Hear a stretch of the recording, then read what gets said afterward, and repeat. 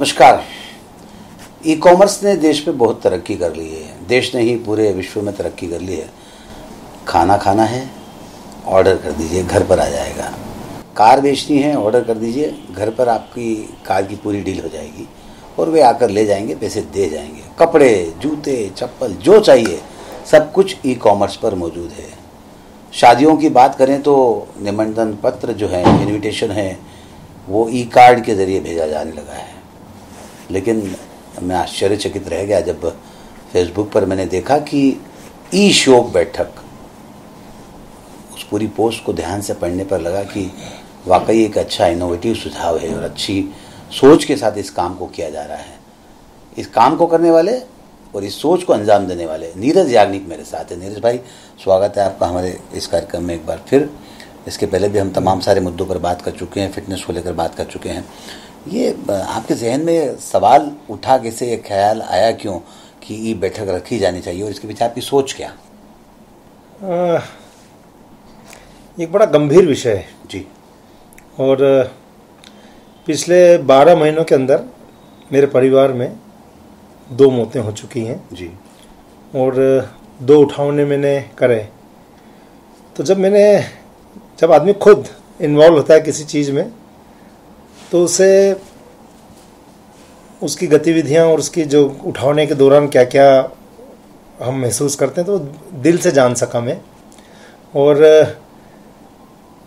दोनों उठाने के बाद मैंने एक निर्णय लिया कि जैसे लोग जीते जी निर्णय लेते हैं कि मैं मृत्यु के पश्चात अपनी आँखें दान कर जाऊँगा, मैं मृत्यु के पश्चात अपना शरीर पूरा दान कर जाऊँगा ये एक पॉजिटिव सोच है। सही बिल्कुल सही। है ना? जी। तो लोगों ने मुझसे कहा कि आप अभी से उठाने की बात जीते जी कैसे कर सकते हैं? तो मैं इसी तरीके की पॉजिटिव सोच रखते हुए मैंने एक घर में प्रस्ताव रखा और घर वालों ने भी इसे सहर्ष स्वीकार किया। और अब हमारे परिवार में कभी कोई मौत होगी तो उठावना और जो शोक बैठक होती है वो हम ई उठावना ई शोक बैठक करेंगे। पूरी संवेदनाएँ आपके साथ है। आपने सुझाव दिया, आपने विचार रखा, आपके परिवार ने भी आपके साथ अपनी सहमति जताई।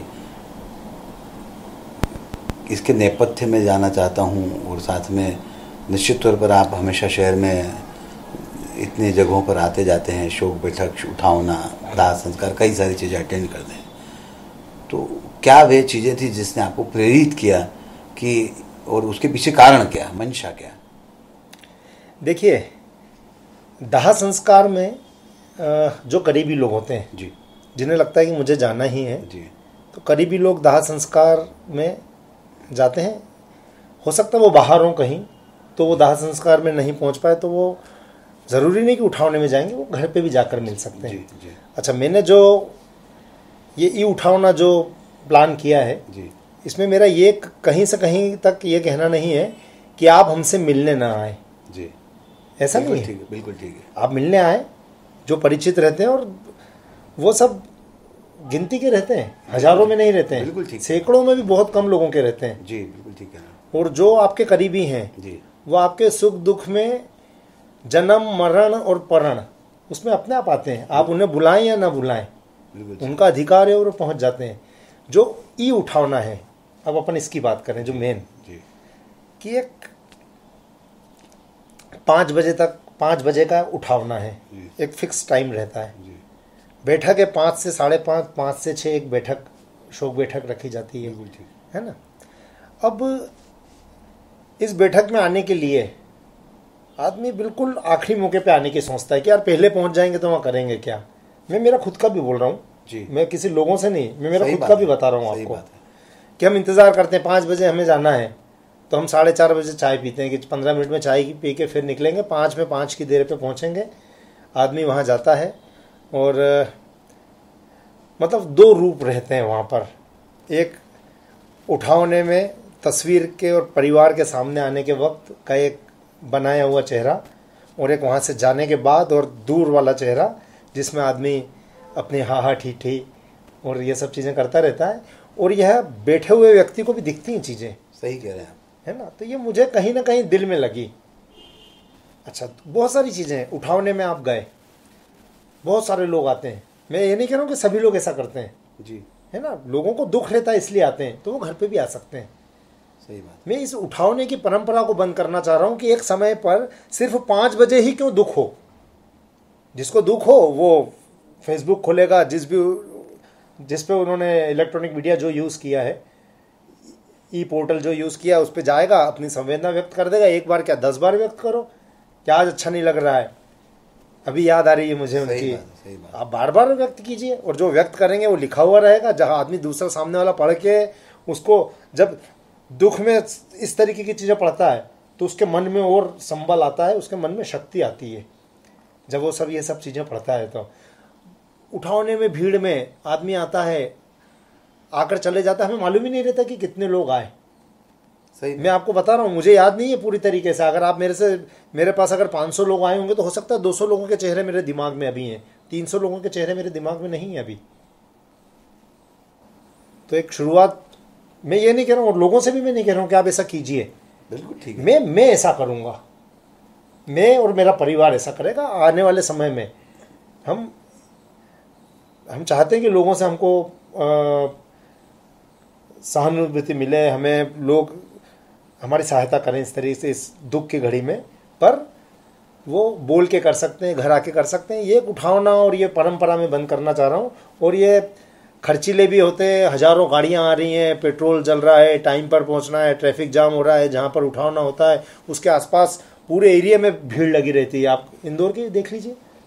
आप गीता भवन में रोज़ उठावने होते हैं, रोज़ ट्रैफ़िक जाम होता है।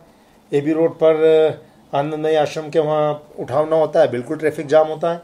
आदमी को व्यवस्था करनी पड़ती है पहले कि वहाँ जाके गाड़ी कहाँ लगाऊँगा, सोचता है, विचार करता है। तो बहुत सारी समस्याएँ दूसरी बिल्कुल ठीक है समस्याएँ बहुत सारी है। समाधान की तरफ़ हम आगे बढ़ रहे हैं।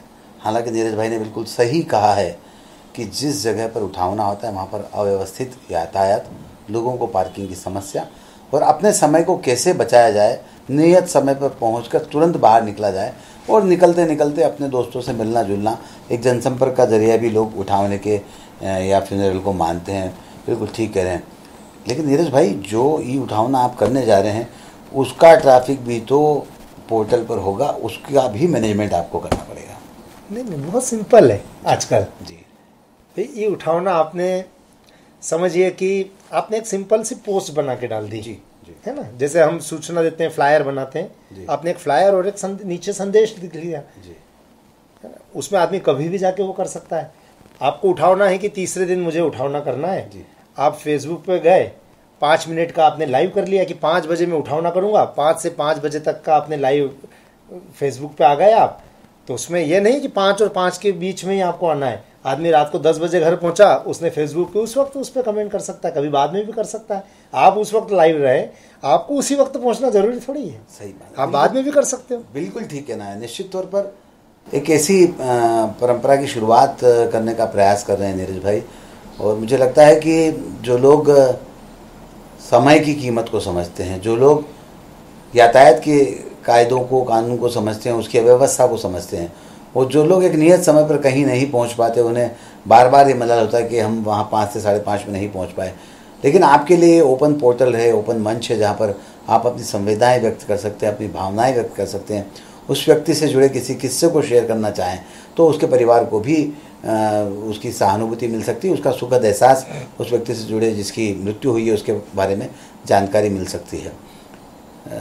ये बात बिल्कुल ठीक है, नीरज भाई, जब शोक सभाएँ होती है किसी के किसी की मृत्यु पर तो उसके बाद उसके संबंध में बखान करने वालों का तांता लग जाता है।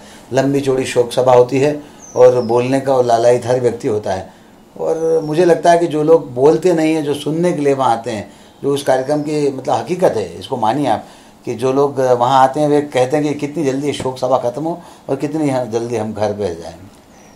सुनील भाई, दाह संस्कार में भी अगर वहाँ समय लगता है जी। अगर पंडित जी वहाँ पर ज़्यादा मंत्र और वो जब करते हैं तो कई लोगों को मैंने कहने कहते हुए सुना है कि पंडित जी बहुत बारीक पीस रहे हैं, बहुत टाइम लगा रहे हैं, आज का दिन तो गया। बहुत सारी समस्याएँ हैं।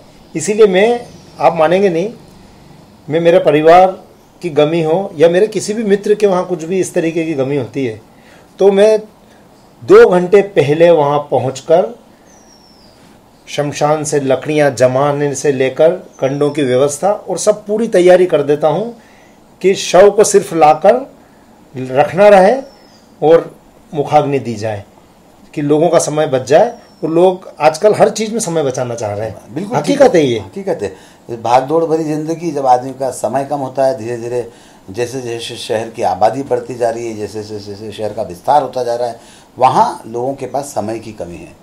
किस तरह से इसको आगे बढ़ाया जाए, किस तरह से समय को कम किया जाए, ये प्रयास ई उठाने का निश्चित तौर पर सराहनीय है।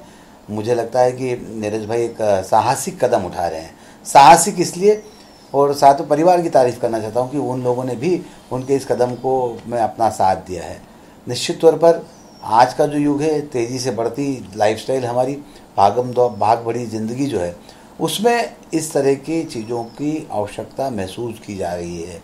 और सिर्फ़ उठाने की आप बात करें नीरज भाई, हमने कुछ दाह संस्कार ऐसे देखे हैं जिसको लाइव स्ट्रीम पर बेटे ने पिताजी के दाह संस्कार को विदेश में देखा है, क्योंकि वो यहाँ पहुँच नहीं सकता, कहीं ना कहीं ऐसे कारण होते हैं। तो ऐसी भी चीज़ें हुई है। पर बहरहाल एक अच्छी शुरुआत करने का आप प्रयास कर रहे हैं। हमारी शुभकामनाएँ आपके साथ है और निश्चित तौर पर मुझे लगता है कि इस प्रयास की सराहना आपको भी करना चाहिए।